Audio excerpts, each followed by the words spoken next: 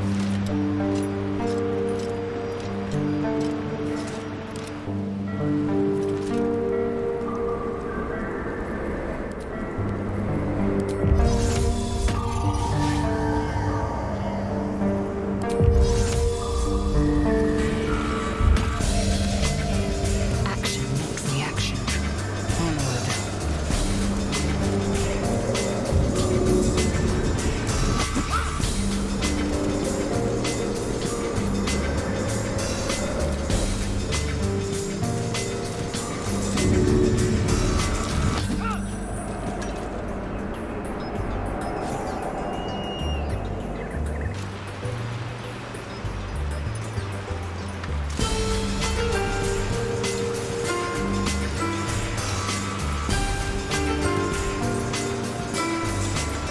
been a murder, and it looks like you're a suspect.